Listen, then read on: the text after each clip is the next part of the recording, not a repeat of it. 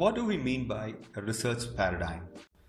American philosopher Thomas Kuhn in the year 1962 first used the word paradigm to mean a philosophical way of thinking. The word has its etiology in Greek where it means pattern. In educational research, the term paradigm is used to describe a researcher's worldview by Mackenzie and Knipe in the year 2006. Lather, in the year 1986, explains a research paradigm inherently reflects the researcher's belief about the world that he or she lives in and wants to live in. It constitutes the abstract beliefs and principles that shape how a researcher sees the world and how he or she interprets and acts within that world. Willis in the year 2007 explains that a paradigm is thus a comprehensive belief system, worldview, or framework that guides research and practice in a field.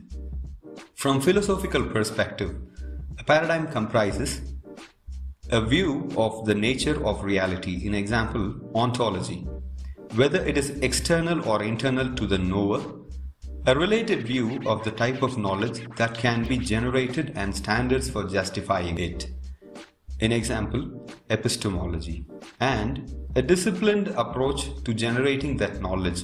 In example, methodology.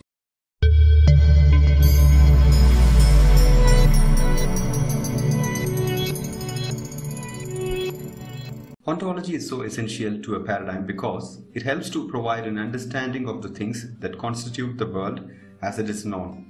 Scott and Usher in 2004. Ontology is a study of being and is concerned with what is. In example, the nature of existence and structure of reality. Crotty in 1998. Richards 2003. Ontology is the assumptions we make about the kind and nature of reality and what exists. Snape and Spencer in 2003 also define ontology as the nature of world and what we can know about it.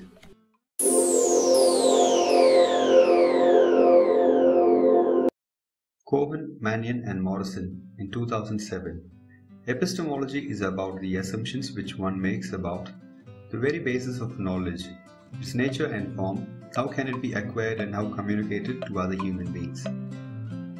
Bryman in 2008 defines epistemology as an issue concerns the question of what is or what should be regarded as acceptable knowledge in a discipline. Epistemology pertains to the nature of knowledge. Crotty, 2003.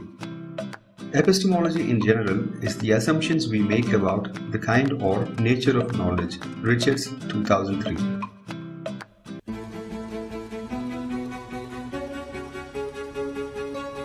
Methodology is a philosophical framework within which the research is conducted or the foundation upon which the research is based. Brown in 2006. Methodology is a broad term used to refer to the research design, methods, approaches, and procedures used in an investigation that is well planned to find out something. Greaves in 1997. O'Leary in 2004 in page 85 describes methodology as the framework which is associated with a particular set of pragmatic assumptions that we will use to conduct our research.